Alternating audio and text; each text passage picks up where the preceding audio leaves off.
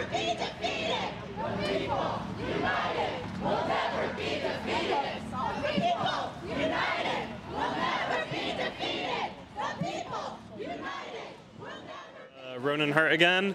February 6, 2023, Won't Back Down protest inside of Tigert Hall, and I am speaking with Ava Kaplan. uh, Ava. What are you doing here today? Today I am protesting the first day of President Ben Sasse's tenure as the president of the University of Florida, but kind of more symbolically, I'm also protesting the encroachment of fascism into the state of Florida.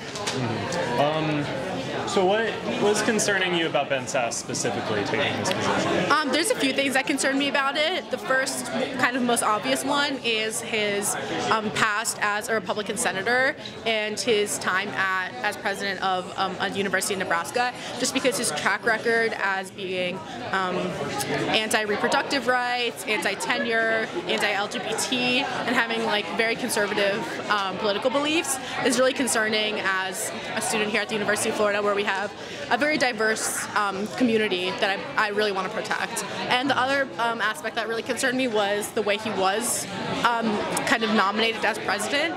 It was a very um,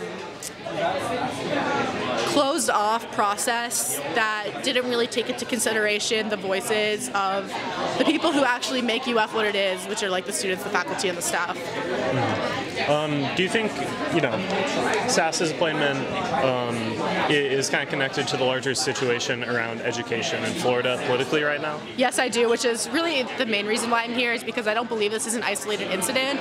Um, I find it difficult to give the Board of Trustees the benefit of the doubt with Sasse's appointment, considering that there's a pattern taking place in the state of Florida regarding the policies being initiated by DeSantis and the Florida State Legislature attacking education, higher education, um, academic freedom, diversity, equity, and inclusion. It's really scary, and I believe that Sasse is just one part of a larger plan to kind of do a political takeover of um, education in Florida by the DeSantis administration. Is there anything you're hoping to come out of this demonstration here today? I mean, we've already accomplished a lot, of what I was hoping to come out of it, which was just showing the administration that there is um, resistance to Ben Sasse and to um, DeSantis's political infringement. Ideally, I would love to have our demands being um, considered and taking place, but I think my biggest picture, largest goal is to halt fascism in Florida and hopefully stop DeSantis from doing all this horrible stuff he's doing. So, what would you say is kind of the plan going forward after today?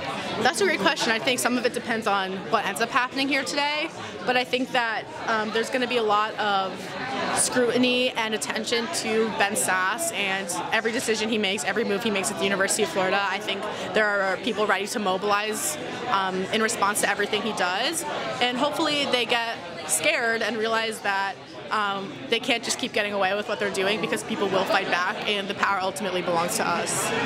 Okay. Any parting thoughts? Fuck you, F.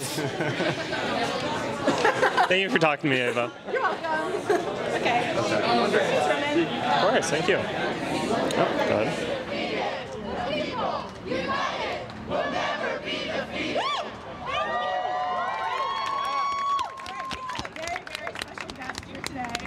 Um, how many of you have heard about